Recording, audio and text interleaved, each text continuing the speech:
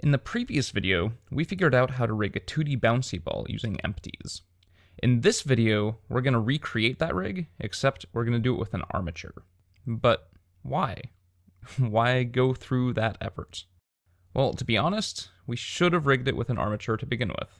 But I'm trying to introduce concepts one at a time, and armatures are a large and complex topic. So to start off, let's take a brief look at the advantages of using armatures, and why we would want to use them for rigging. The most obvious reason is actually one that doesn't apply in this simple case, but I'll point it out anyway.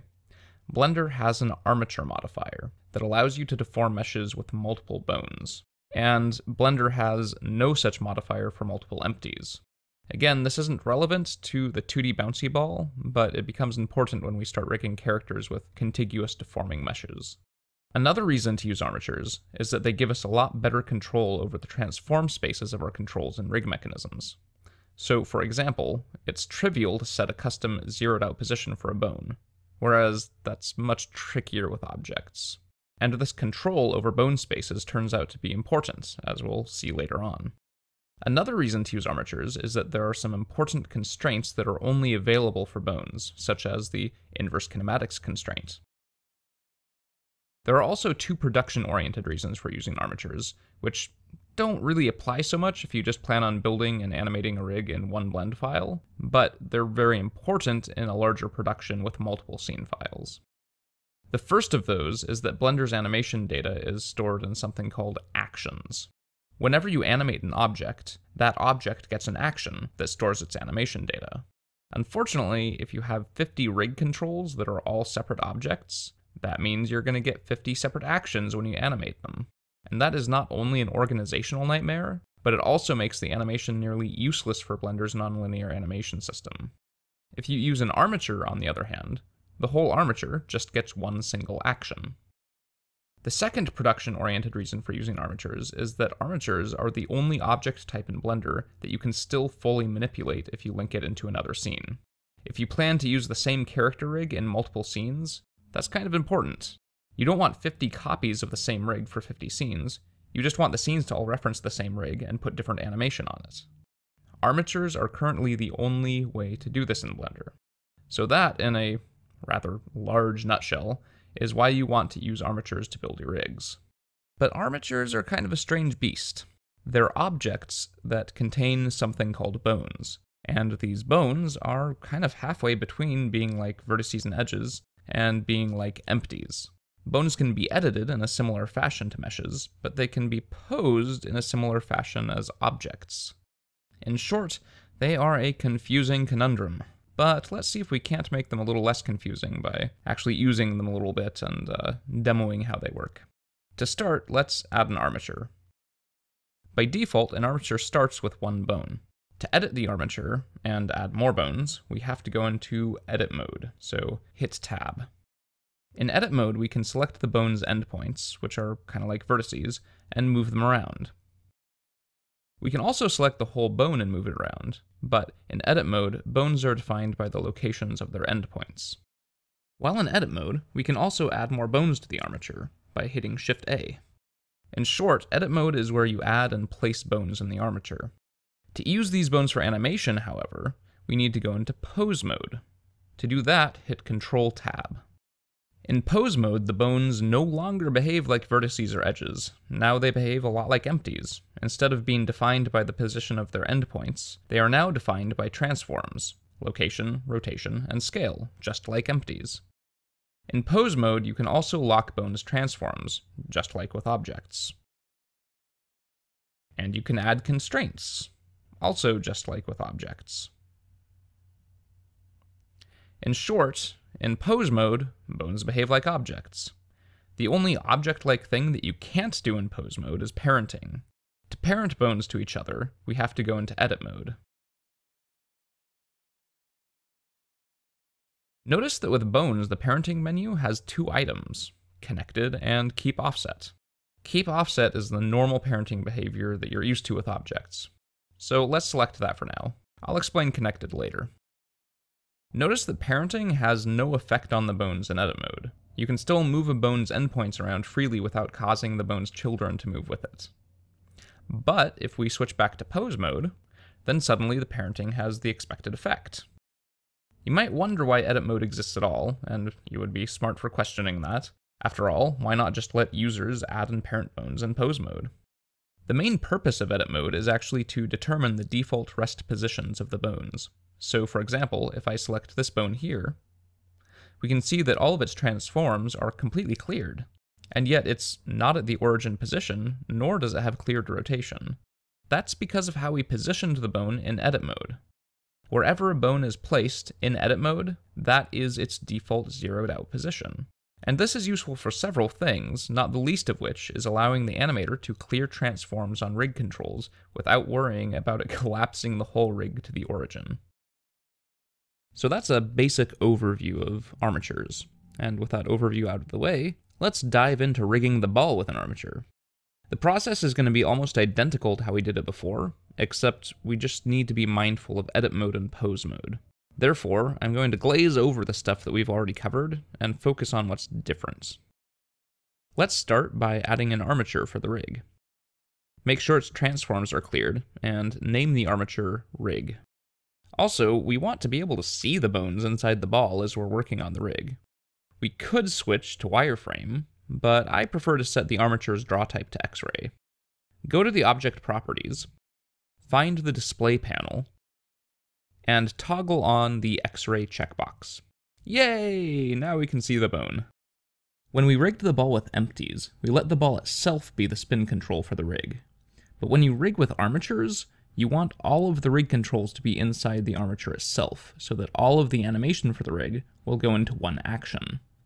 That means the ball can't be a rig control anymore. We are making the rig with an armature now, so the spin control needs to be a bone.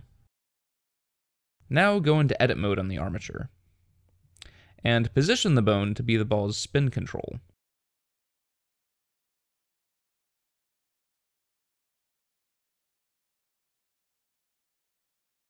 And name the bone spin. Now go into pose mode and select the bone. You may notice that the rotation transforms on the bone actually has four components. That's because bones, by default, are set to use quaternions to represent their rotations. Quaternions have some important advantages when dealing with 3D rotations, and I'll explain them later on. But for 2D rotations, it's much better to use Euler rotations, which is what objects use by default. We can change the bone to use Euler rotations by clicking on this drop-down menu and selecting the XYZ Euler rotation mode. Now let's figure out which axis to spin on. Looks like it's the y-axis again, so lock the other two axes along with the rest of the transforms. Now we want to attach the ball to our spin bone. When you're in pose mode, you can still select objects outside of the armature as well. So select the ball, and shift select the bone, and hit Control P to parent them. The menu that pops up is quite imposing. Remember when a menu popped up when we were just parenting objects, even though it only had one item? Well, this is why that menu exists. When you're parenting an object to a bone, there are many ways to do it. I'll just explain two of them for now. The first item on the list, object, means that you want to parent the ball to the armature object, not the bone. If we did that, then the ball would move if we moved the entire armature object, but not if we moved the bone. That's not what we want. The last item on the list, bone, is what we want. That will parent the ball to the bone we have selected. So, select bone from the menu. Now when we move the bone around, the ball moves too. Hooray! Next, let's create the counterspin bone. Go into edit mode on the armature again. Select the spin bone and hit Shift D to duplicate it. And let's move it to the side a little bit so that we don't get confused between the two bones. We'll move it back later. Let's name the bone MCH counterspin. The MCH is for our own convenience as riggers, so we can tell at a glance that it's a mechanism bone, not a control bone. And the rest of the name describes what the bone is for. Let's drag the tip to make the bone a little smaller so we can distinguish it from the spin control bone when we move it back later on. And let's make it the parent of the spin control bone.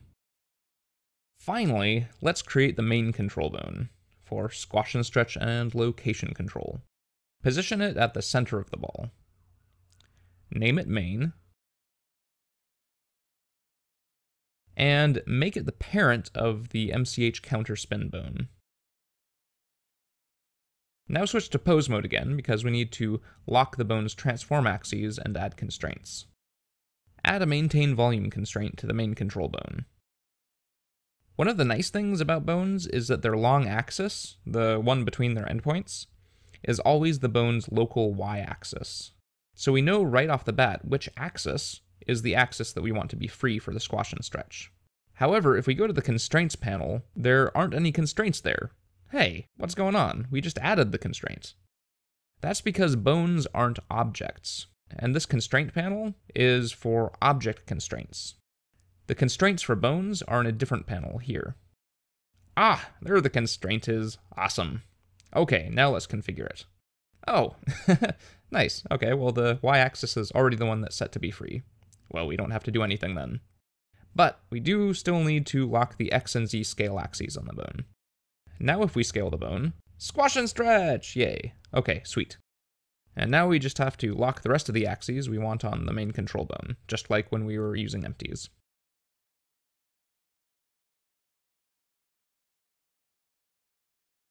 Now all we have to do is set up the counterspin driver. But before we do, let's take a look at what happens when we rotate the main control and the counterspin bone. Select the main control and rotate it to the right. Notice that it rotates on the z-axis in the negative direction. Now rotate the counterspin bone to the right as well. This bone rotates on the y-axis in the positive direction. How weird. What's going on? What's going on is that rotations on bones take place on their local axes, which are defined by their orientation in edit mode. So this means we want to drive the counterspin bone's Y rotation with the main control bone's Z rotation. It also means that the same rotation direction is positive on the counterspin bone and negative on the main control bone. So we don't have to make the driver negative like we did with the empties. It's already built into how the bones are oriented. So let's add the driver and start setting it up.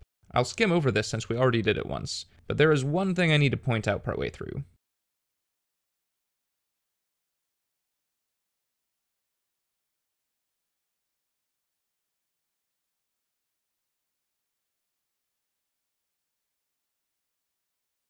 Okay, here's what I wanted to show you.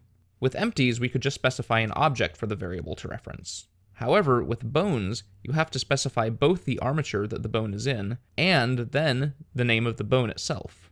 And that's because different armatures can contain bones with the same names. So the name of the bone may not be unique. You have to tell Blender which armature the bone is in as well. So specify the armature object first, which we named rig, and then give it the name of the bone in the next field. We also need to tell the variable to use transform space. For now, just accept that we need to do that. The rest of the driver setup is exactly the same as before.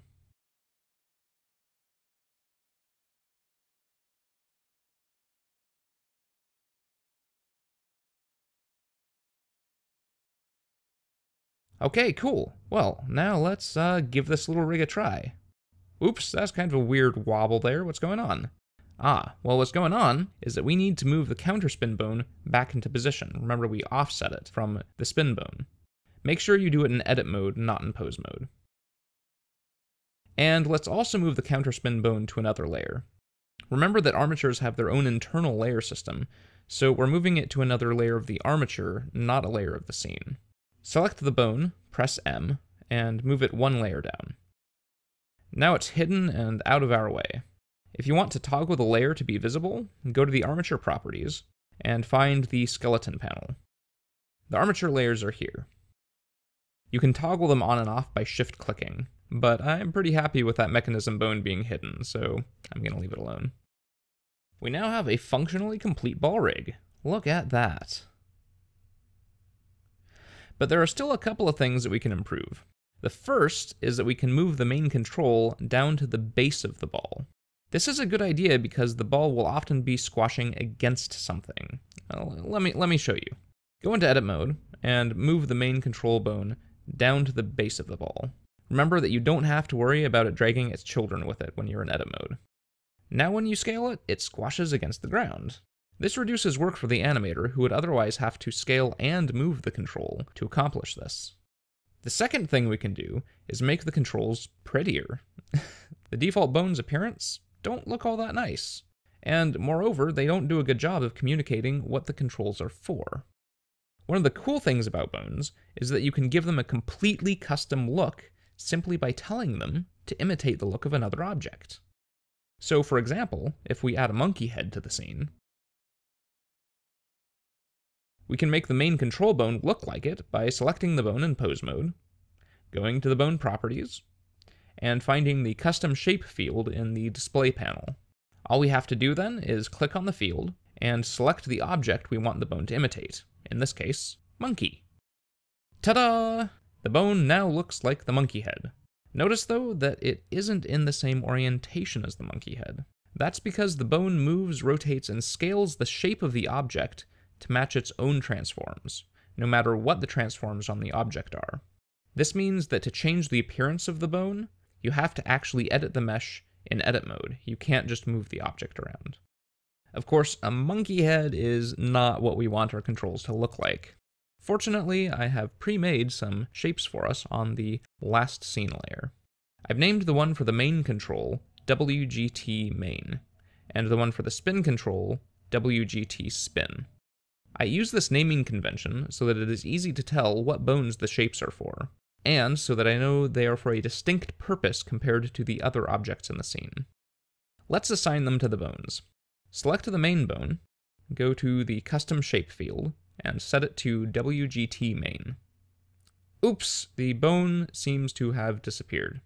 But in fact it hasn't. What's going on is that the object we used for the custom shape only contains edges, not faces. For those edges to be visible, we have to set the armature to display wireframe. Go to the object properties, and in the display panel, change it from textured to wire. Yay, it's back. Now assign the shape for the spin bone.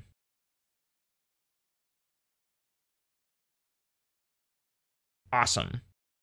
You might notice that I built these shapes to be outside of the ball mesh. This is on purpose because now we can turn off X-ray display. X-ray display can be quite confusing with more complex rigs, as controls overlap with each other. So I try to design my bone shapes so that it is not necessary to have X-ray display on. Finally, we have a completely finished rig. Good job. Now maybe we can move on to something other than bouncy balls.